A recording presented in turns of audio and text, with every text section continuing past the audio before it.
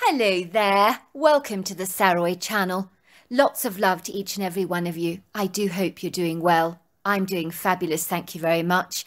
And I'm looking forward to sharing this lovely story with you tonight. But before we get started, don't forget to get that perfect drink for yourself, whether you're enjoying something alcoholic, something refreshing and light, something warm and comforting. Go and get it because I've got a fabulous story. But before we get started, don't forget to subscribe to the channel, click the notification bell and the thumbs up. And let's get started with tonight's story. Dear Sarah and all your lovely listeners, my name is Ian, and I believe without a shadow of a doubt that my grandmother was killed by a Bigfoot. Of course, at the time, no one really knew that such a creature actually existed. And when my grandmother complained that she had been harassed and stalked by a hairy humanoid ape in the woods, no one really believed her strange account. My grandmother was a very truthful woman, so no one for a second thought that she was lying. But as is often the case with Bigfoot sightings, the skeptics invariably always bring the inevitable, it could have been a bear, to the table. I believe, as is always the case, with people who come forward to share their amazing Bigfoot accounts, that when they're ridiculed, disbelieved, and dismissed, the first thing they do is shut up and keep quiet. I truly think that that is what ultimately happened with my grandmother, who bit her lip in anguish because no one understood the dreadful, palpable fear that she was going through on a daily basis. No one believed her account, and so she lived with a tormented secret that ultimately ended up leading to her own demise.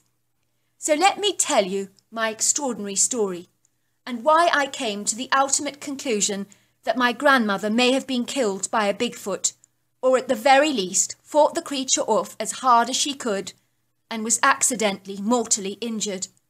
I made this discovery in 1987 all by accident, so it was a long time ago now.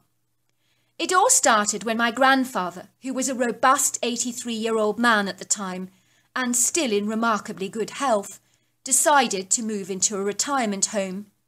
He relinquished his estate to me before his death, as he wanted to avoid all the inevitable tax duties that come from a deceased estate.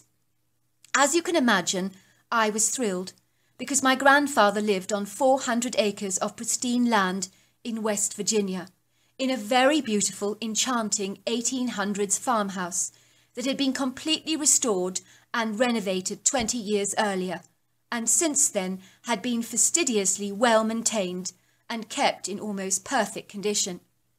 The house was situated on the end of a very large red dirt road, with a grassy embankment on either side.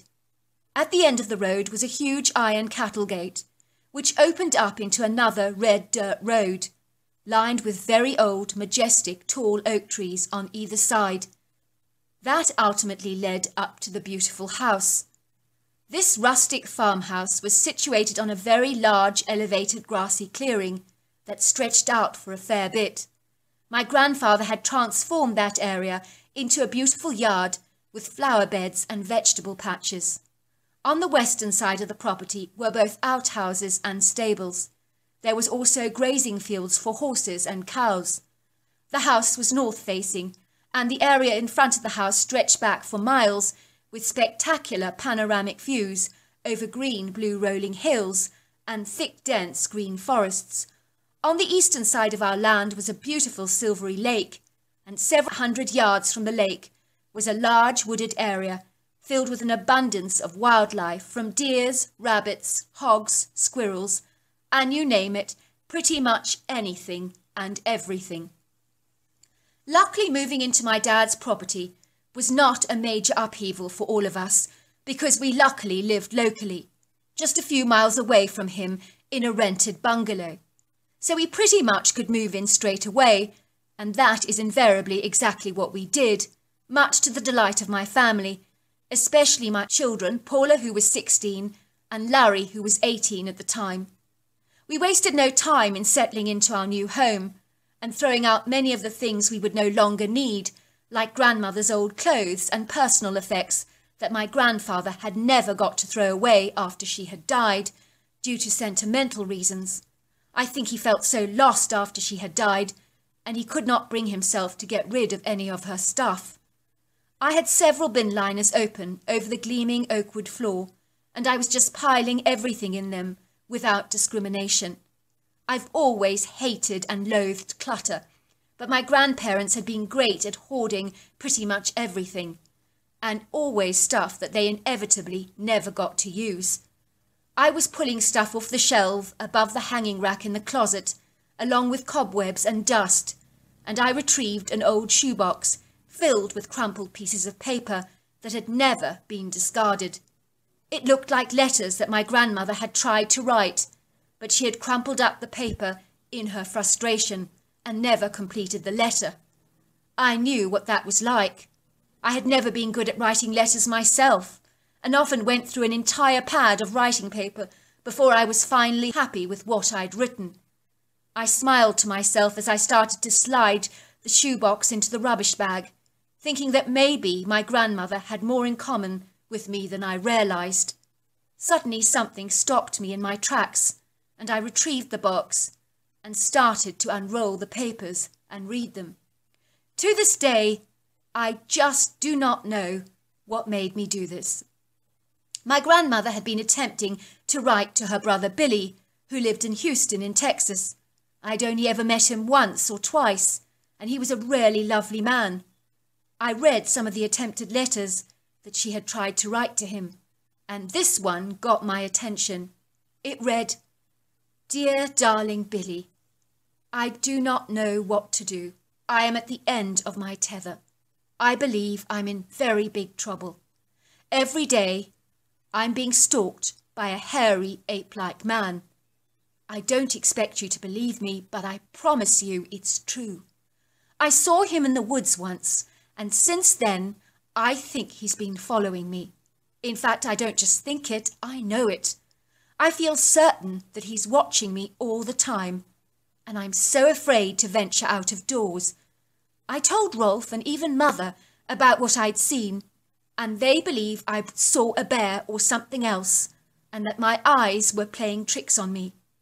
I know what I saw, and it wasn't a bear. It was very definitely an ape man. I confided in my friend Bess, who is a devout Catholic, and told her what I'd seen. She is convinced I saw a demon, and told me that I clearly needed to repent of my sins. And I've done all that. I've prayed and I've even rebuked the thing, and it's still out there, still spying on me. So none of that stuff has worked. I think that this thing is not a spiritual being, but a very physical creature. But I've no idea what it is but I truly feel as if my life is in impending danger because this creature appears to be fixated by me. He has a very nasty smell about him, and he's very, very tall and very wide, and he has a very big ape-like face, but it's those intense eyes that scare me half to death. I wonder if you could move here for a while from Houston and help me to show my husband Ralph and the others that I'm not imagining what I'm seeing, and this thing is indeed real.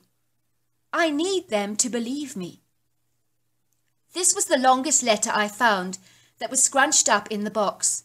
In those days, I had never heard of Bigfoot, but it did seem incredibly odd that my grandmother was rattling on about an ape man living in the woods. I decided to keep the crumpled note and asked my grandfather about it when I visited him at his retirement home. On the day I visited my grandfather at the old age home, I was surprised to find that he had acquired a girlfriend, and he had a very happy sparkle in his pale brown eyes. There was life in the old dog yet.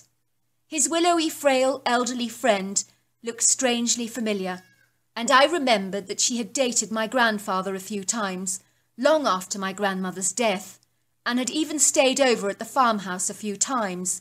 The relationship had ultimately fizzled out, but now it seemed that they had rekindled the old flame, and they both looked as if they were really very much in love, or at least extremely fond of each other. Pops, I said, That's what I always called my grandfather. I want to ask you something very private. Nonsense, said my grandfather, holding his girlfriend's hand tightly. I have no secrets from Rosie. Spit it out, son. It's about Grandma, I said. Go on, said my grandfather. I found an old crumpled, half-written letter that Granny attempted to write to her brother, but she never sent it to him. In it she talks about an ape-man that she believed was a threat to her safety. Oh, that, said my grandfather. That's nothing, son. I think her mind was playing tricks on her. There was no ape-man in the woods. She had a big imagination. But I told her that and she wouldn't listen. She was as stubborn as a mule. She was convinced she was seeing a, an ape-like creature, but I told her that she was very definitely wrong. Did you say ape man? said Rosie, looking startled. I saw him too. What? said my grandfather. Where did you see him?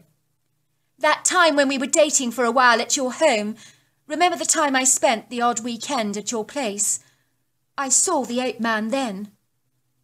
The blood had drained from my grandfather's face, and he looked at Rosalie intently with his steely blue eyes. You really saw an ape man? he asked. On my property? Rosie nodded, and tears poured down her pale blue eyes and down her wrinkled, pale, thin face. Now, now, it's all right, said my grandfather. Why did you not tell me about this? Because you would never have believed me. You don't even believe that your wife saw the thing. I can hardly believe it I saw it myself, so why would you believe me? I do now, said my grandfather. If two people say they saw the same thing, then it's good enough for me. What did the ape man do? I asked Rosie. I got the impression he wanted me to see him. He was making himself known to me. He wasn't hiding away. He was looking at me through the bedroom window. And he was huge. But it was those eyes. Oh, they gave me the creeps. There was something so sinister about them their intensity, and the way it was looking at me. It was just so scary. How many times did you see him, Rosie? I asked. It was only the once. But I always felt when I was at your place that this thing was watching me all the time. I know I couldn't see him, but I felt it. It's hard to explain. You just get a sense about these things. Didn't like staying at your place. If you will remember, I started to decline some of your invitations because I could feel this thing around me and he was horrible. He would grunt and he had a horrible smell, a little bit like wet dog and skunk mixed together. Tell me, Pops, how did Gran die? I asked suddenly. It was twenty years ago, son. It was all an accident. And that is it. There was nothing suspicious about it at all. Well, let me see about that. Tell me exactly what happened, I asked. Try and remember. Well, I remember it was a Sunday night. And do you remember Delilah? Oh, you mean the white fluffy dog that you once owned? That's right. Very nice dog, too. Loved your grandmother to bits. Followed her everywhere. Devoted he was. What about Delilah? I asked. What has grandmother's dog got to do with her passing? Well, she went missing, you see. Very strange it was, because it was so out of character for her to wander off like that. Well, you know, your grandmother couldn't understand it. She was fixated about that dog. Oh, she insisted on going off to find him. And it was dark outside. I told her not to. I tried to discourage her, but you know what she was like, stubborn as a mule. She insisted. Well, why didn't you go with her? I asked, looking at my grandfather in horror. I thought she was going outside into the yard. I wasn't to know that she would go wandering off into the woods all on her own. Your grandmother always had a mind of her own. You mean she went to the woods by herself, all in the dark? I asked in surprise. It would seem so. Well, that's where they found her body. What did the coroner say was the reason for her death, Grandpa? I asked. Oh, they said she must have hit her head very hard and broken her neck. It was an accident. These things happen, son, especially if you're foolish enough to go tumbling around in the darkness like that. If you ask me, you're asking for trouble. Your grandmother was very foolish. I'm not sure about that, Pops. I think her death is highly questionable. I really do. How do you know that this ape man didn't actually harm her? You think this thing killed her? Asked my grandfather in horror. I do, Pops. I really do, I said. I mean, Granny felt her life was in danger. I handed my grandfather the note my gran had written, expressing her fear about the ape man. My grandfather read the note, and his grave face looked very solemn. I had no idea she felt this way, he said, looking very reflective. I really think I failed your poor grandmother. After her death, Delilah was never the same dog again. You know, she never left the house. She spent her life curled up in your grandmother's closet. She was always very anxious. It was very, very sad. When I returned home that evening, I was wondering what on earth this humanoid ape actually was, and if this creature or others like him presented a possible threat to my own family now that I was actually living on my grandfather's land. Was this thing still alive, I wondered? Because if he was, both my wife and daughter could be in danger, because he clearly had a fixation on woman. I never told my wife about my concerns but I searched the woods on my land thoroughly and covered every area by foot, carrying my Remington rifle with me at all times, but I never encountered the strange creature.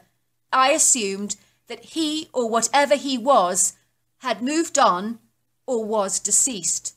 I truly hoped the latter was the case, and it was plausible because I doubt apes have the same kind of life expectancy as a human, but then I don't really know. Several years went by. My grandfather had passed away by then, and so had his lovely girlfriend Rosie. One day when I was out hunting in the woods with a friend of mine on the deer stand that I had constructed in the woods a couple of years earlier, we noticed that the forest had become airily quiet, and we knew that we were not alone. I could sense something was watching us, and my friend Hank was looking very anxious and extremely unnerved. It was the creepiest, most sinister feeling that I've ever encountered in my life. We watched a couple of little saplings swaying vigorously, and we could hear the sound of something hefty in the undergrowth. We knew at once that this creature, whatever it was, had to be enormous, and both Hank and I were both immobilized by total fear and stood on the deer stand like a couple of ice statues frozen to the spot and literally unable to move. That is the effect the presence had on us. I wanted to run away, but my legs felt like heavy blocks of solid concrete, and I could tell that Hank was worse off than I was, because there were beads of sweat pouring down his face like raindrops, and his terrified eyes were as wide as saucers. And this, we hadn't even seen the creature yet. Suddenly we saw the head of a very large black beast with a monstrous ape-like face, staring at us with dark, menacing eyes through the undergrowth at about eight feet off the ground. And it was the most terrifying thing that I have ever seen or encountered in my entire life. It was like I was looking at a movie. It was so surreal. I wanted to fire at the thing, but my 270 Remington rifle felt like a BB gun in my hands, and I was sure I would probably make this thing so mad and put both Hank and I in mortal danger, and I didn't want that to happen. The creature was making strange grunting sounds that sounded like a primate, and although we never saw his entire body, his movements in the brush reminded me of a massive ape. This thing, whatever it was, kept studying us through the curtain of shrubbery, with a steely gaze, like a great bird of prey that scans the ground, looking for a potential snack. That was the kind of look he was giving us. Suddenly we heard another grunting sound coming from further away, and I remember thinking to myself, oh my goodness, not another one. And in that moment of startling revelation, I shat my pants in utter terror. In that second, Hank just passed out and fainted falling onto the ground in a semi conscious state. The creature suddenly lost interest in us, as he appeared to be distracted by his friend's call. And suddenly he just turned around and thundered through the undergrowth, like a bulldozer rampaging through the thicket. I immediately did my best to revive Hank, and we both went home, but we could not run because the energy had drained from both of us, and it was all we could do to just crawl home.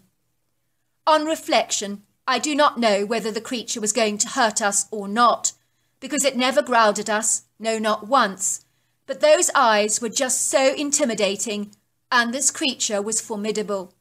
I have never felt so overwhelmed by terror in my entire life, because we were quite literally facing an apex predator.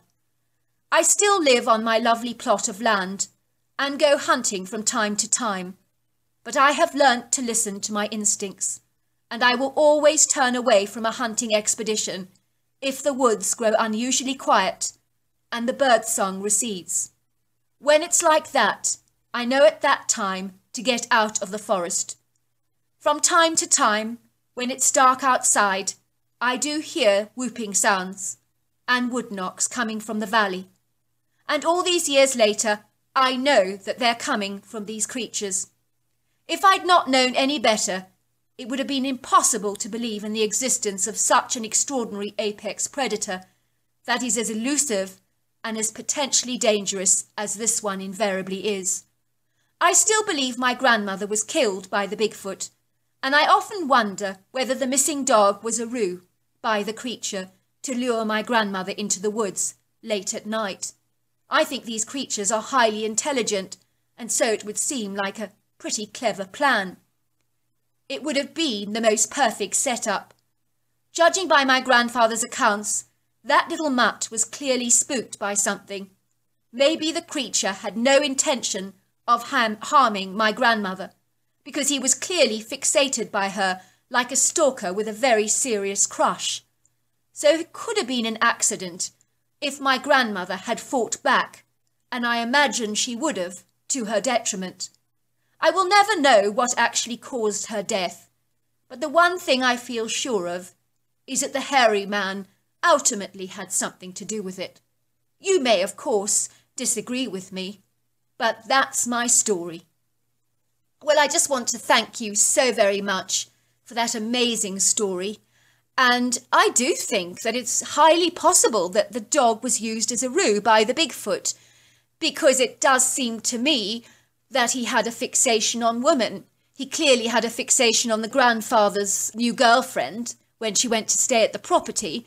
So that really leads me to suspect that he must have been fascinated by women and probably wanted to kidnap one.